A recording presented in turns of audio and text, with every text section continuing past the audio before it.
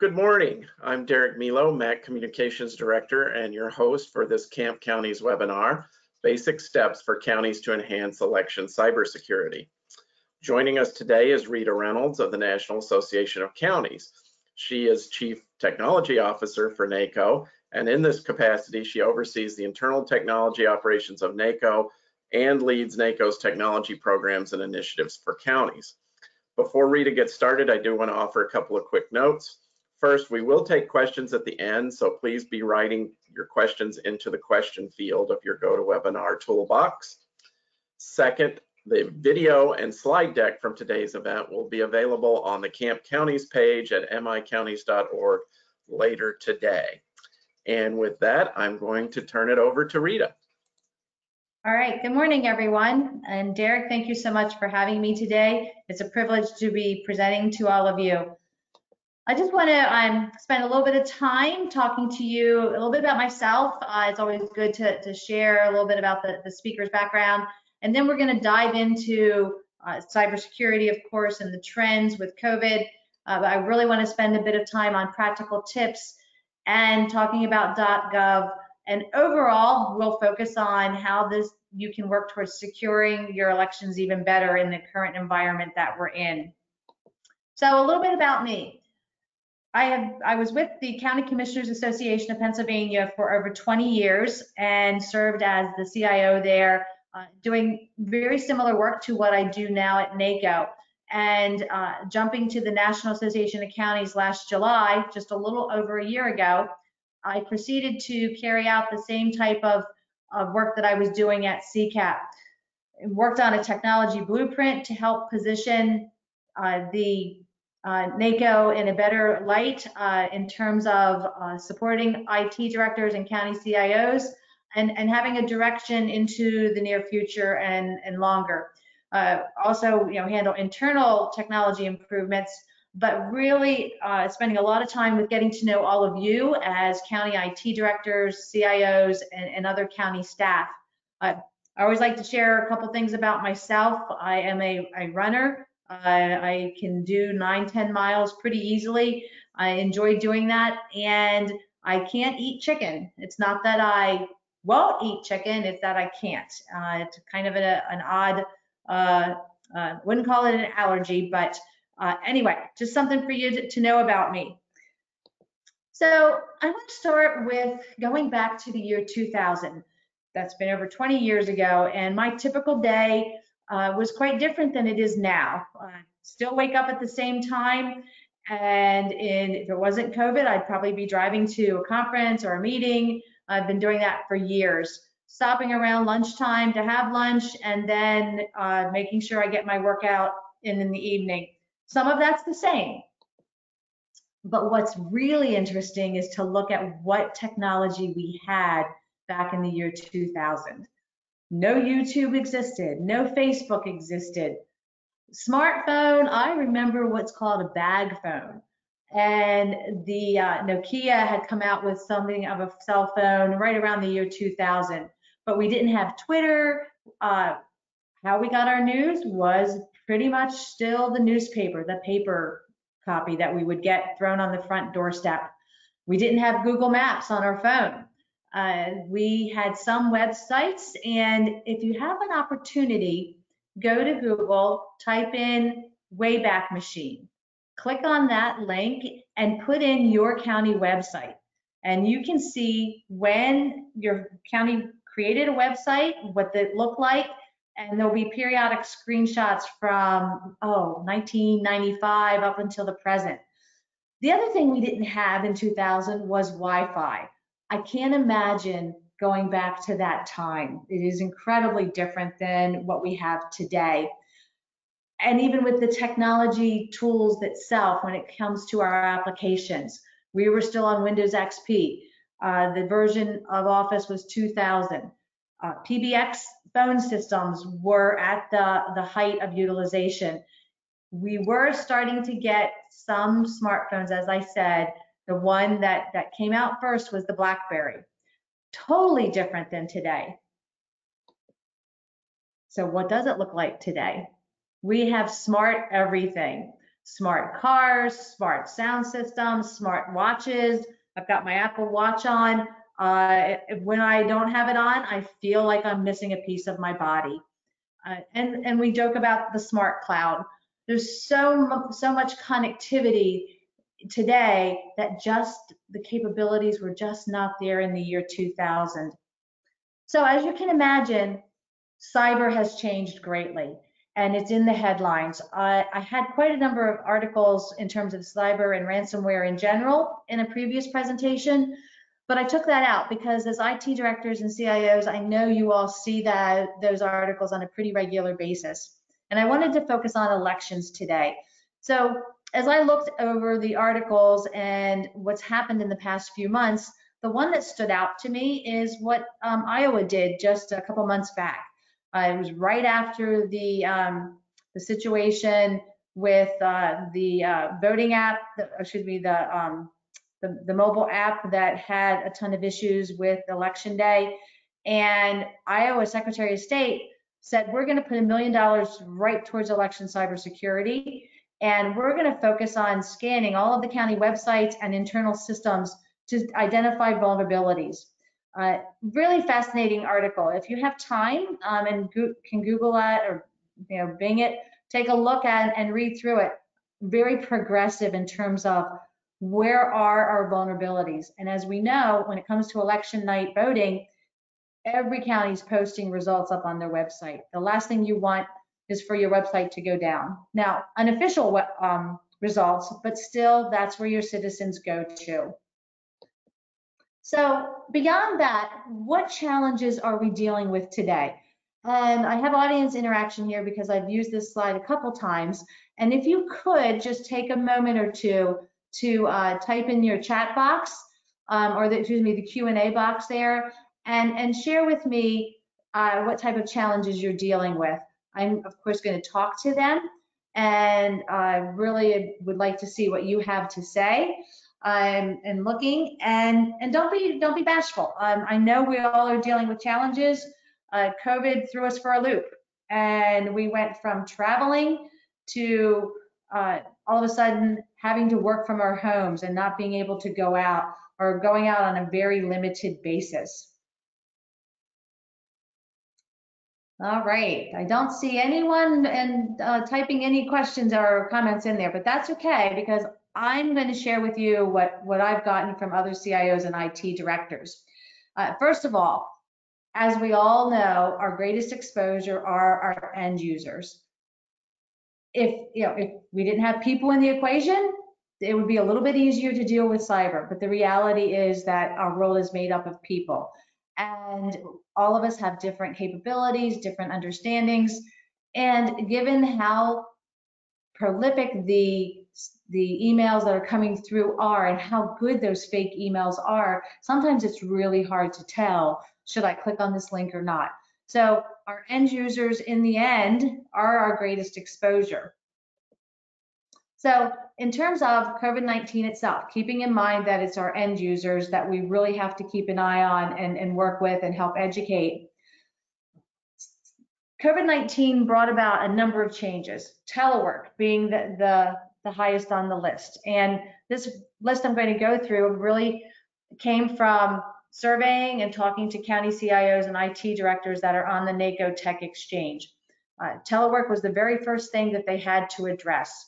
They, uh, those that I worked, talked to and worked with said over and over again, we allowed some telework or work from home, but not much. And now everybody needs to be able to telework. As a result of that, Remote support has become critical. Finding the right tools and using them securely to support that, that remote workforce.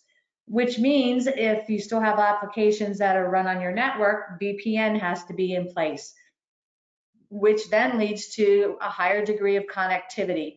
And as we know, many of our employees live in rural areas. Uh, the connectivity and broadband access may not be the best. Wrapping around all of that is the security. And what I heard from a number of counties, counties is that they renewed their phishing tests in education.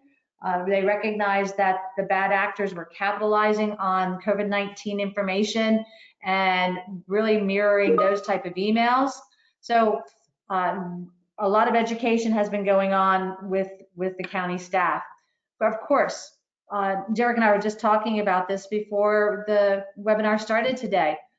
The significant rise in virtual team meetings and public meetings, uh, using those online tools, whether it's Microsoft Teams or GoToWebinar or Zoom, Facebook Live, all of a sudden, those tools became front and center.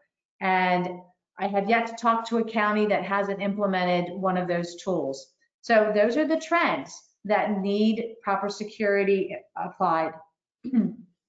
now, specifically to elections, and this really has become um, a very front and center conversation in the April, May, June timeframe. But you have election officials, not elected, well, they are elected, but not your commissioners necessarily that I'm talking about right now, but your election directors. They're now working from home. Uh, they need in normal in a normal election they would be in the office or in a particular location now they're having to participate by video connectivity is still is a challenge absolutely uh, increase in mail-in ballots another conversation that derek and i were having right before the webinar started today tremendous increase in the percentage of ballots that are being mailed in as opposed to going into the um, voting precinct or location.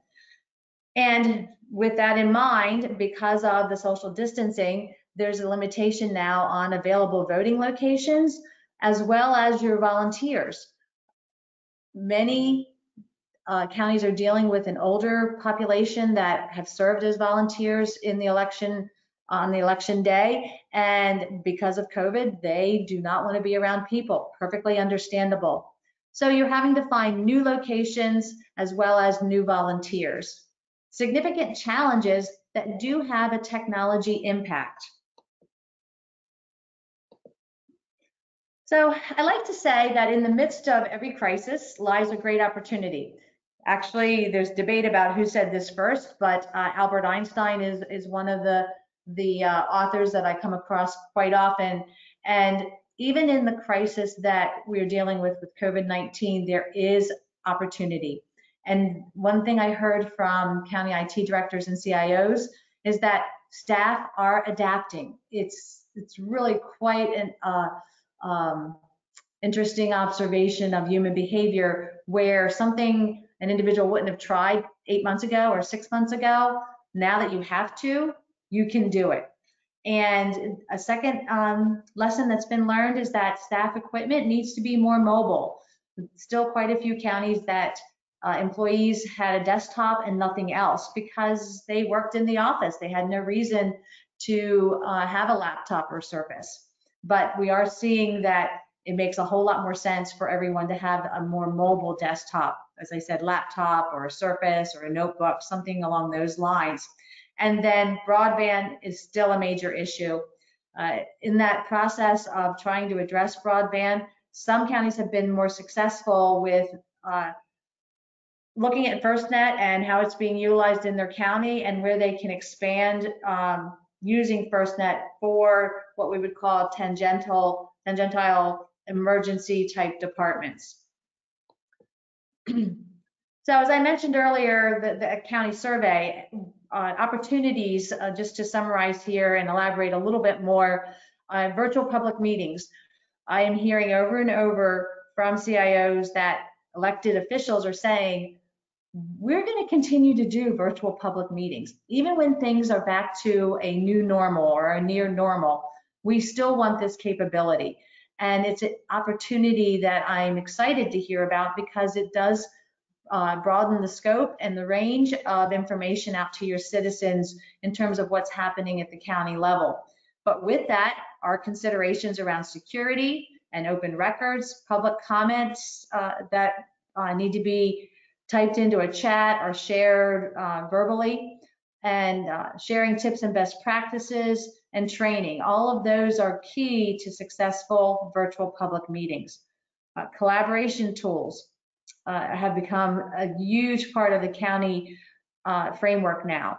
Uh, Microsoft Teams utilization for so many organizations have and counties have jumped 400 and 500%. Uh, there's a nice statistics area in the administrative side of Microsoft Teams that can show you the growth over, over a three month period. And then, as I mentioned on the prior slide, eliminating desktops. I can't tell you how many times I've heard counties say, we're not buying desktops anymore. We are focused on replacing any desktops coming up for replacement with a Surface, with a laptop, uh, something that's more mobile because the situation we're in could happen again uh, in the near future, of course, but even in a couple years, and counties want to be prepared. So on the innovation side, specific to elections, let me just share a few things. I've uh, talked to a number of counties, and in several, they've been able to deliver effective translation through their, their interpreters by using virtual interpreters on election day. They've used Microsoft Teams.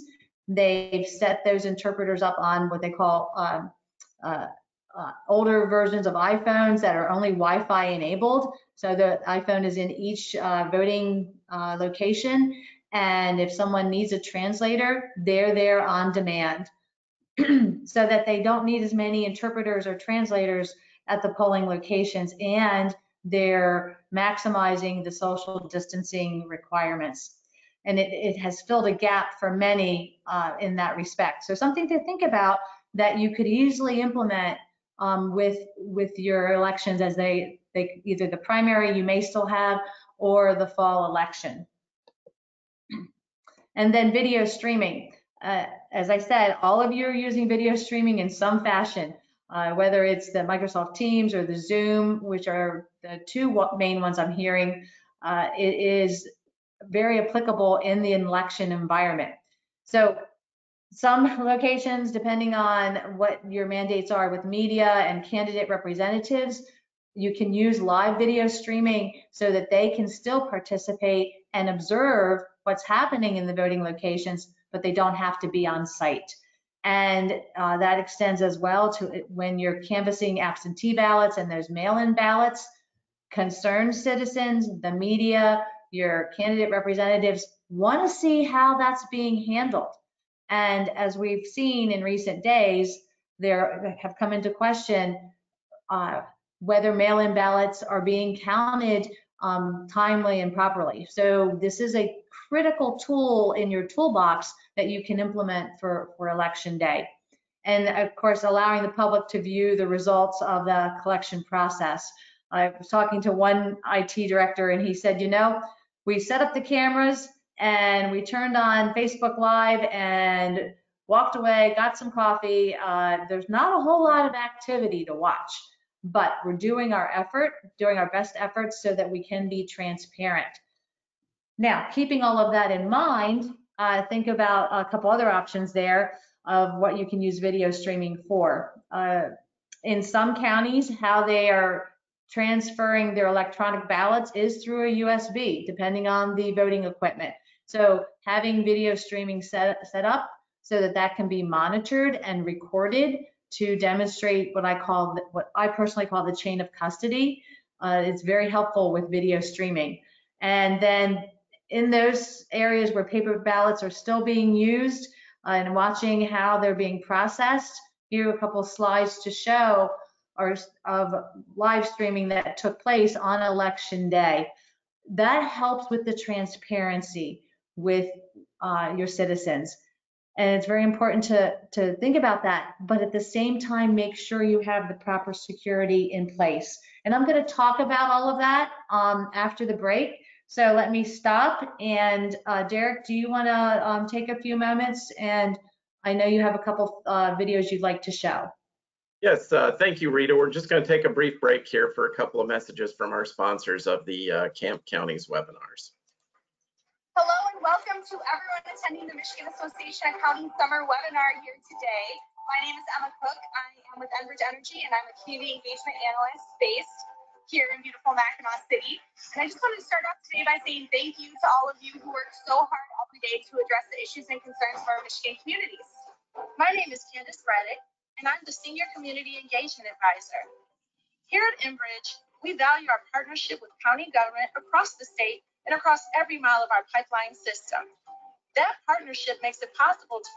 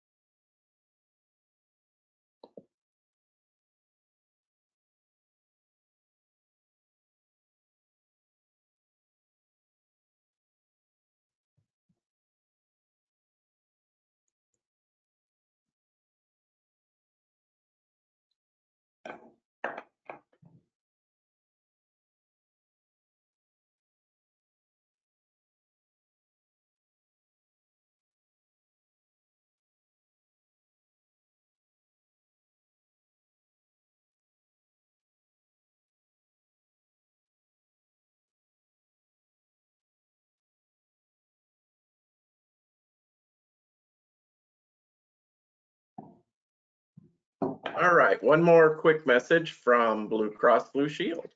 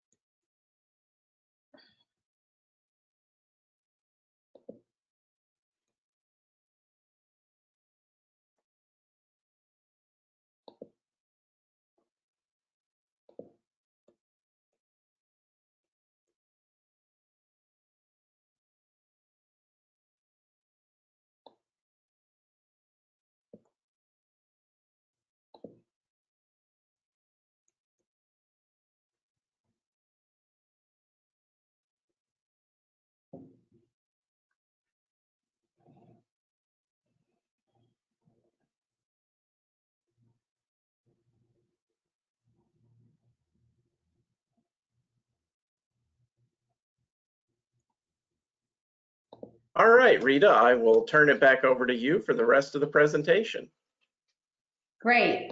All right, give me one second here and I will pull back up our PowerPoint and we will start where we left off. All right, every, can you see that, Derek? Are we good? We are good.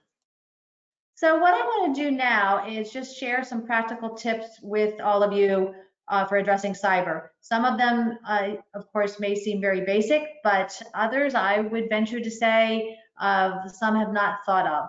So regardless if you're looking at how to bolster your election security or just general security, it's very important that you have standalone policies. I, I did a little bit of research before this presentation specific to elections, and I saw this over and over again. Acceptable use and a sign off. Typically, what I found over the years is that there's technology uh, policy in the employee handbook, but there's not a separate acceptable use policy specific to technology with a sign off. And what I mean by that is that each year you do an annual review and employees sign a one pager saying they acknowledge what's in the acceptable use policy.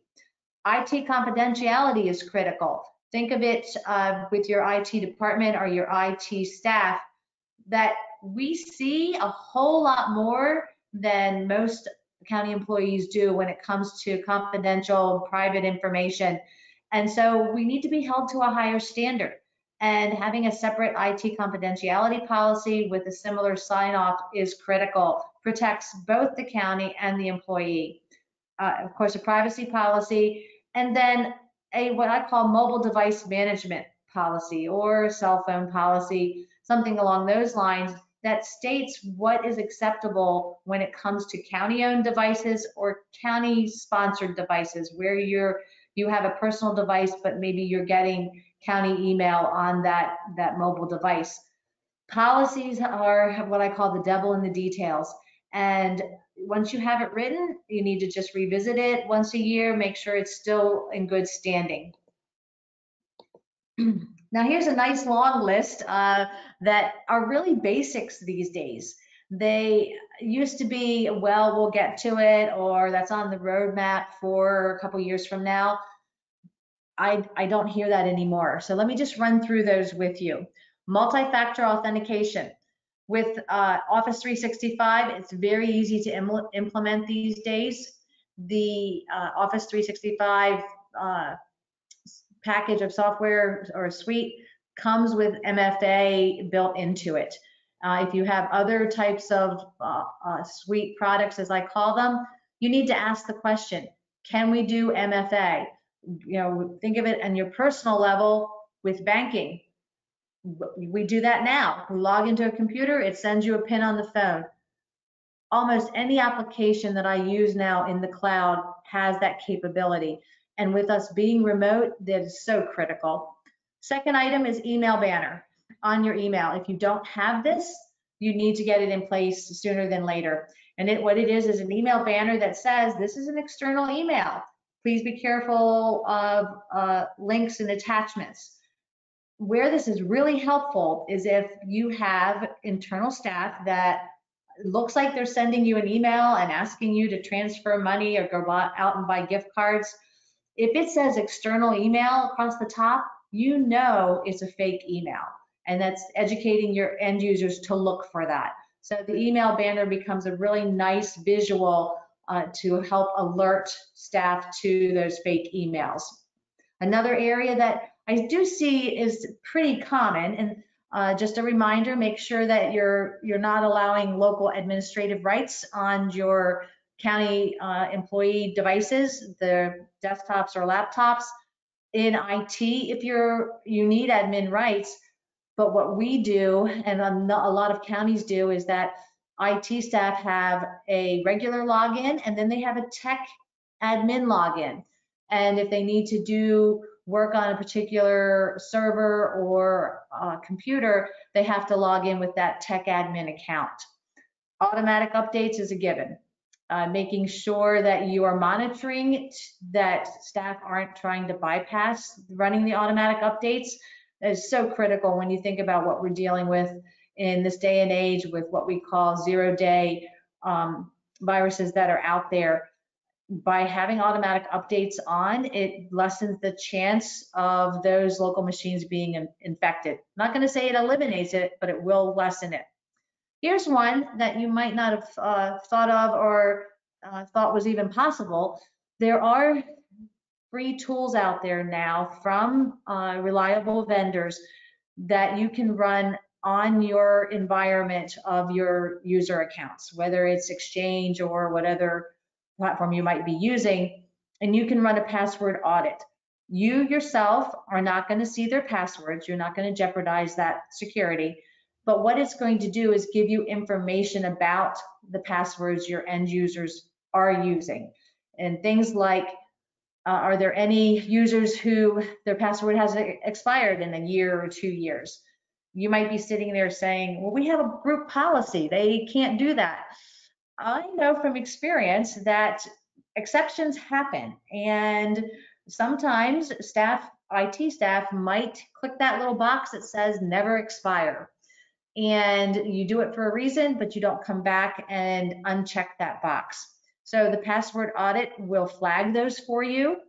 It will also tell you if end user passwords are common throughout the county. In other words, They might be using password one, two, three, four, and that will give you that information. There are also other uh, examples of passwords that are known to be on the dark web and are being sold. So really well, great wealth of information if you can run a password audit tool on your environment. Also, um, encouraging the use of secure and approved cloud services. Here specifically, I hear uh, employees will go out and they'll put things out on Dropbox or Google Drive, and they may not be near as secure as what your approved options are. So making sure that if you have policy in place, you have a way to monitor that or even prevent employees from using those unauthorized or unapproved cloud options. Now, here are a couple that have to do with your employees from working from home. Ask them, are you using a password on your router, first of all? They should be, but sometimes they're not.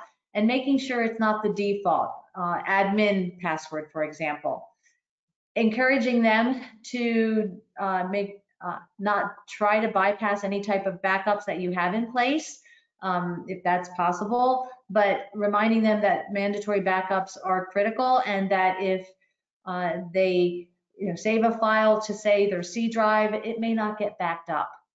And then in this day and age, we've used USB drives or USB sticks quite prevalently we don't really need them as much anymore because of the mobility and the um, access to cloud storage. Uh, so discouraging the use of USB sticks is another best practice these days. All right, uh, let's just talk a little bit more about your employees, uh, keeping in mind that I know depending on the county, background checks are required for all employees and sometimes just for certain departments. And I am seeing more and more that the background checks are required by all departments, but especially in IT. You need to make sure that, that there aren't exceptions there. Uh, occasionally, I might hear of one, uh, you know, something that happened 20, 30 years ago, uh, but just making sure you're reviewing that with your HR and that they're aware.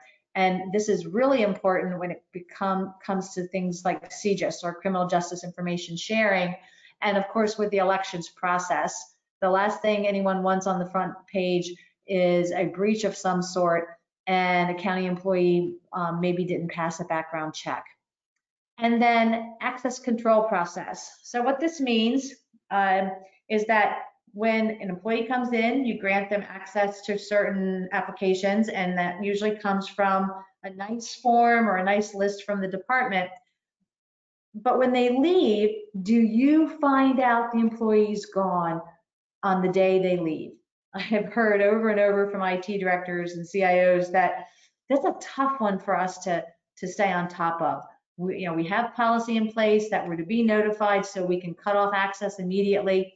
We generally will get those, but if somebody moves from one department to another, we might not know.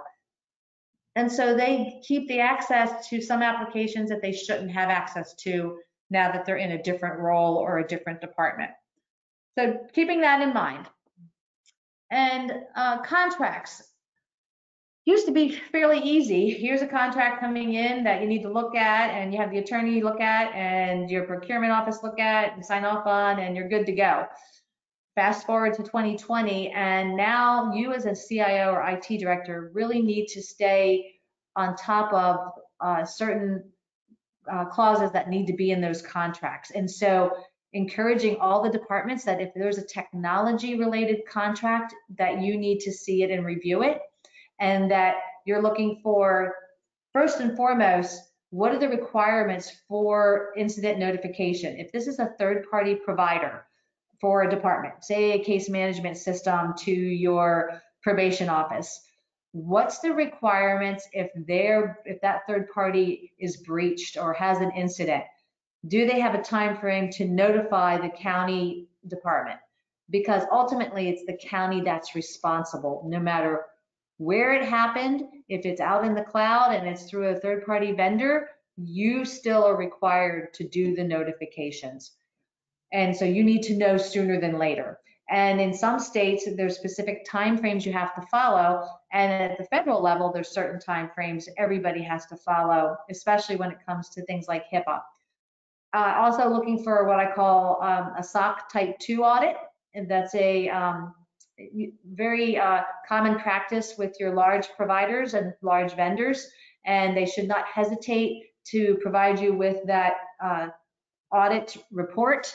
Uh, they may ask you to sign an NDA or a non-disclosure agreement, but you need to take a look at it and make sure that they have passed uh, muster when it comes to security.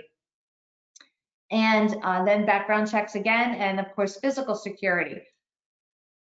Have you asked the provider of the application, if it's going to be hosted in the cloud, where do you host that? Uh, I hear Amazon Cloud, but sometimes I hear, well, it's a server in my garage. And hopefully that's getting few and further between, but you still need to ask the question.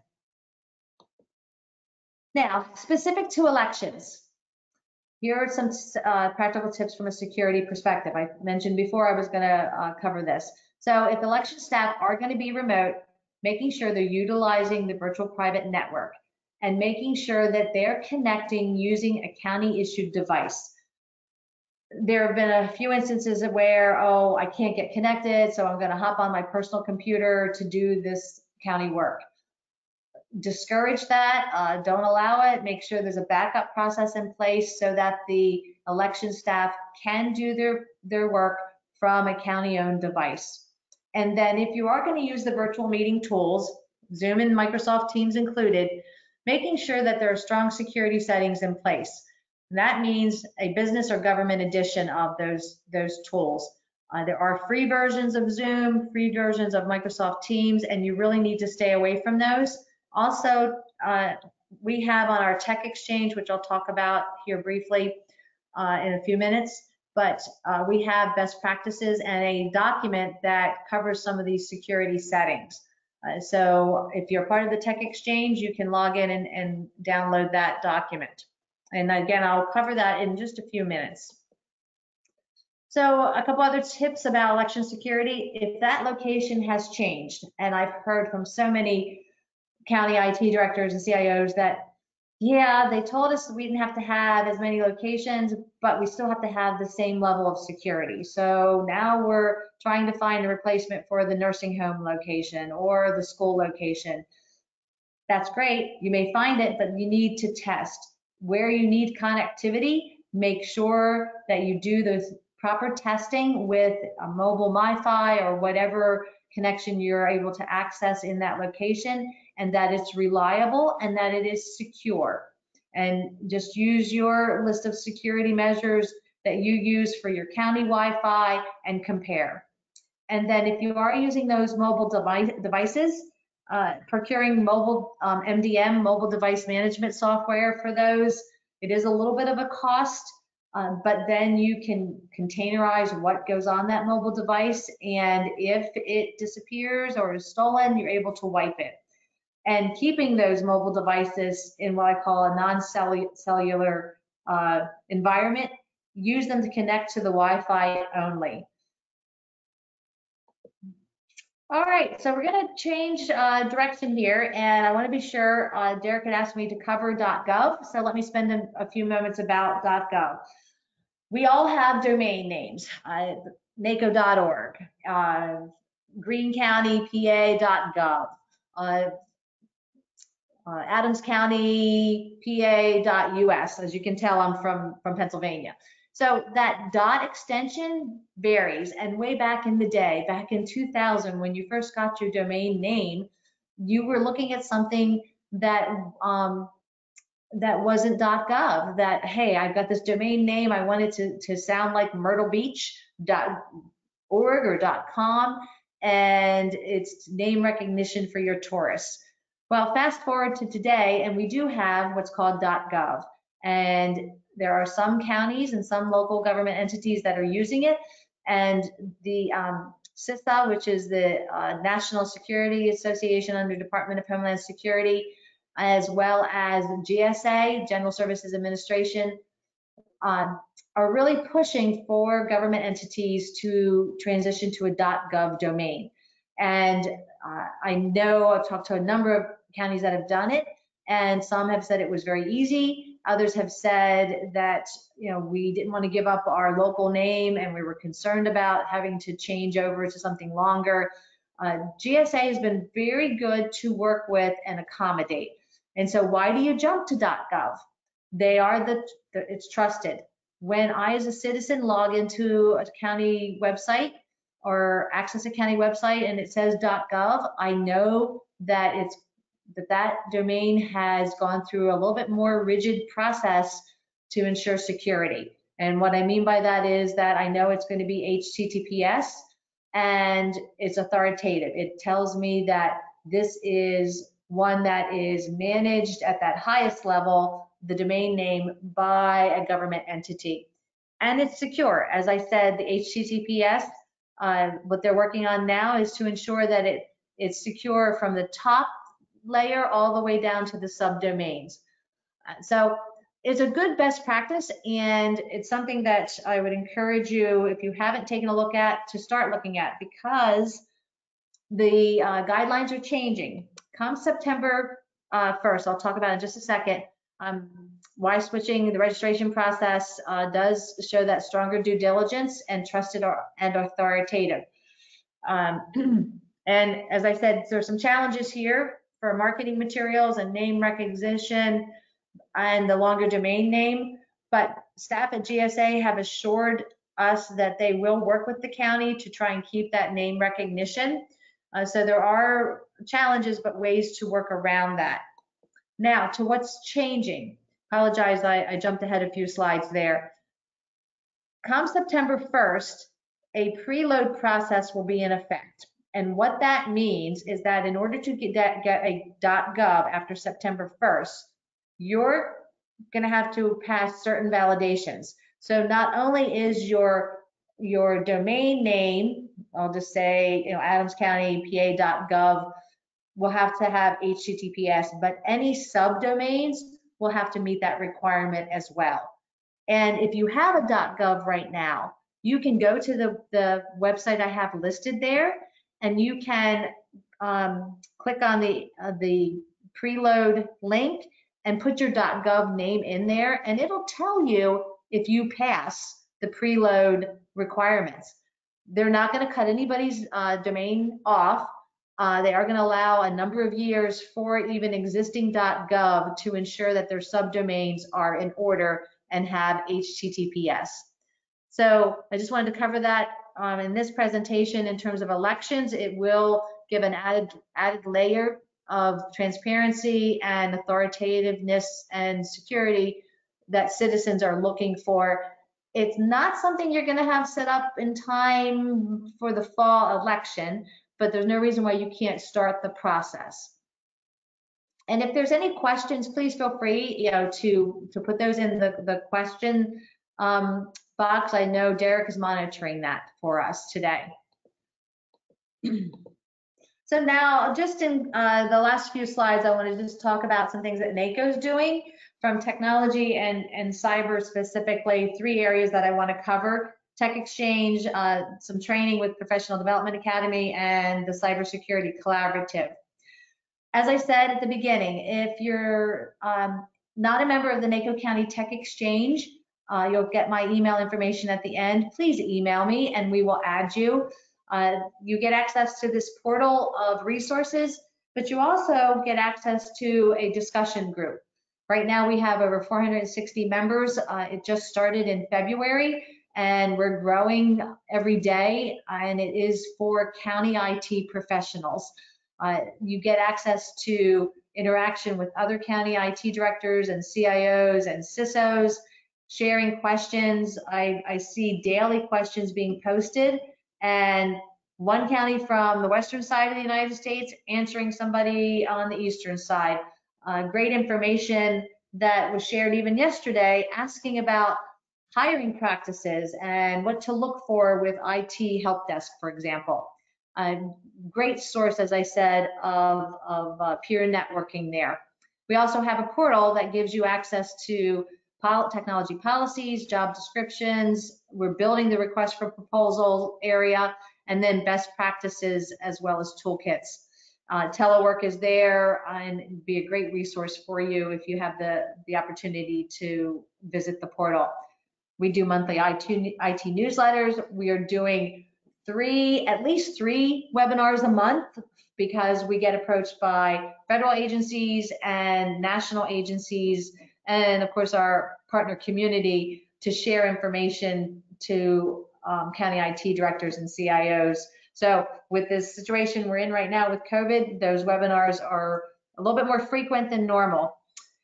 And then you're able to, um, excuse me, uh, every so often we will do a survey gathering some feedback from you all as the IT experts at the county level, which helps us at NACO present the needs to a, a legislative um, body as well as to other entities that we work with to help improve the county IT posture. And this is just a quick slide of what the portal looks like. Let me just talk now about one new program called the Cybersecurity Collaborative. Uh, it is a fee-based program uh, that county IT directors and CIOs can access at a reduced rate and can interact with the, the Fortune 500 side of, of our partners. Uh, very uh, robust connections and uh, folks that you can talk to on any given day uh, if you have a problem or a concern around security specifically and there's a daily uh, alert that goes out. There's an online community where you can access some additional resources.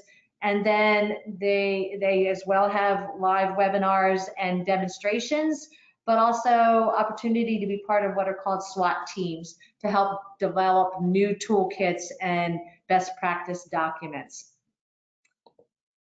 And then finally, we can't go anywhere or very we're very limited in our travels these days when it comes to training and the uh, uh, high performance leadership academy is a partner with uh, NACO and they've been providing leadership training for your elected officials but they also have a cybersecurity leadership academy.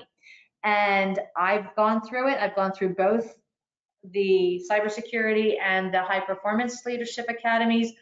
Excellent, excellent uh, interaction over a 12 week time period. Some homework required, but we also do what are called um, tabletops and you get to dialogue with other CIOs, IT directors, and CISOs across the United States in a smaller cohort.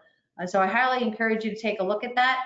And if you go to the NACO website, you can get that information. And there are scholarships available to counties. If your county hasn't sent someone through the program, uh, then there's at least one scholarship available that can be used. Now, in closing, I just want to talk a little bit about some national resources. If nothing else from today, uh, and that you're not a member of, you really need to take a look at the Center for Internet Security, specifically MSISAC and EIISAC, Multi-State Information Sharing and Analysis Center, and the Elections Information um, Sharing and Analysis Center. I uh, joined under my former role at the, the County Commissioners Association of Pennsylvania, and NACO is now a member as well. Those alerts that we get throughout the day about vulnerabilities or emerging threats are so vital, and there are other services that they provide.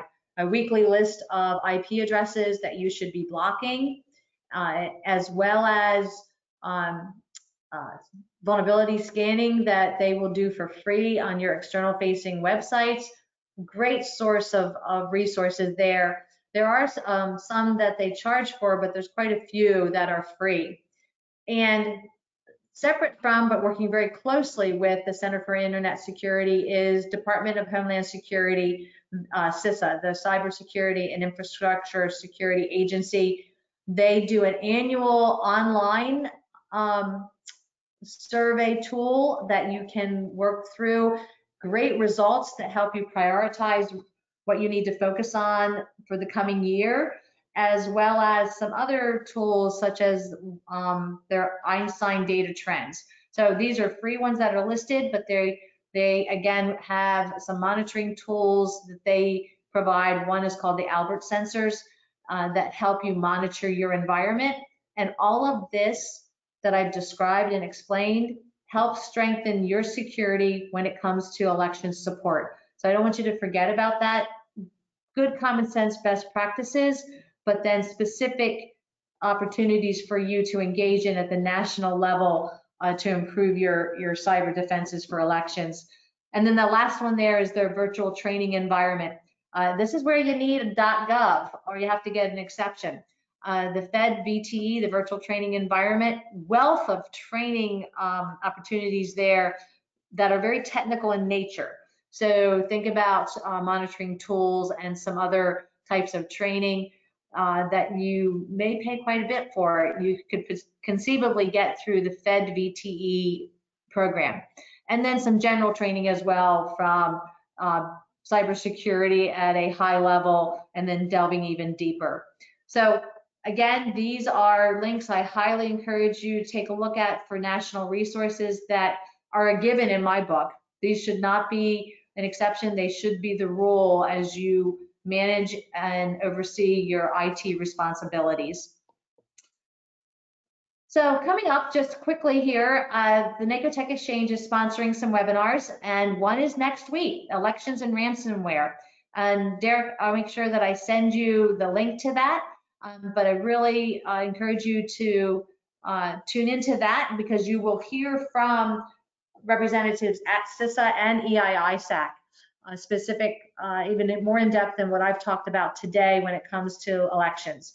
And then two other uh, webinars, July 29th, data governance. Uh, that date might move by a day. Um, and then in August, we have one, uh, the AT&T is presenting uh, about FirstNet and some exciting things they've been doing during COVID. So thank you so much for the opportunity to present today. Derek, I'm going to turn it back over to you and I'll leave this slide up so that you all have access to email addresses. Thank you very much. Great, thank you, Rita. I, we appreciate you taking the time uh, with us today. Again, um, if you do have a question, now is the time to pose it. We only have a few minutes left in our designated hour, but we can field a couple of questions if any member of the audience does have that. Um, just real quick, I'll ask one while we're waiting on others to ask.